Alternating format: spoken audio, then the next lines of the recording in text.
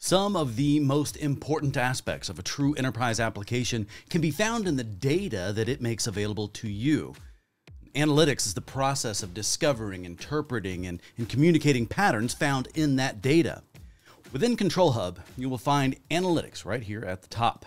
Now, it continues to get more love and attention from the developers, and now it's not just meetings, it's all here messaging, calling, and WebEx devices, which includes headsets cameras, all the way through to desktop and room systems. One big change you don't want to miss meetings data is no longer on a 24 hour delay, it's now real time.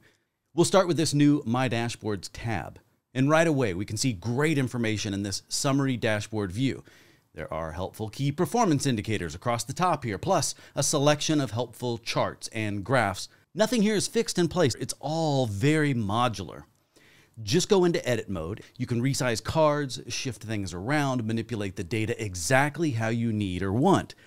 It's great and all, but the real power is being able to make your own dashboards. Just click on New Dashboard, rename the tab and the section, and then save. And now we can pick any data we want from any other tab. Let's go into Meetings. This Meetings Minutes card would be more helpful as a bar chart. And look at this innocent little action button. You can grab an image or the raw data, but we want to use this to pin to dashboard. We'll just select the right one. We have just the one section defined, so now we'll just pin it.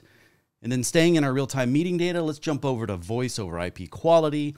Oh, by the way, you can hover over these little eyes to get helpful info on definitions and background calculations. I really appreciate this kind of detail. Also, these KPIs can be grabbed for custom dashboards too. Notice our last moves are remembered, so it's even faster when you don't need to change anything.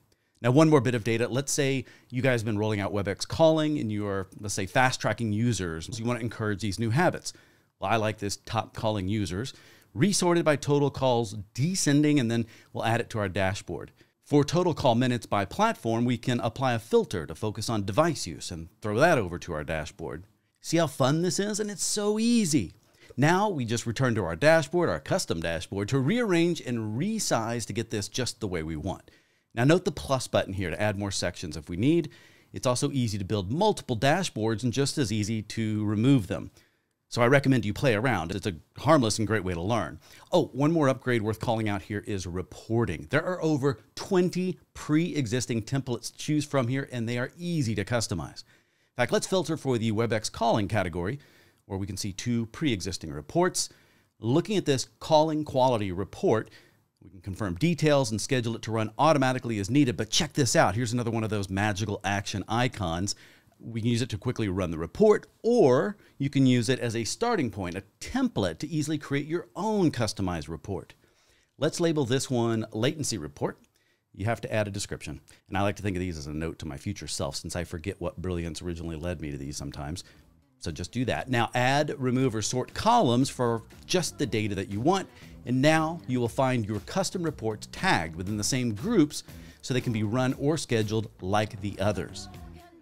So that's a quick look at the big upgrades in Control Hub. It's better data, along with the tools to parse it however you want. No more cut and paste monotony and spreadsheet mastery required. Let the new and improved Control Hub do all that work for you.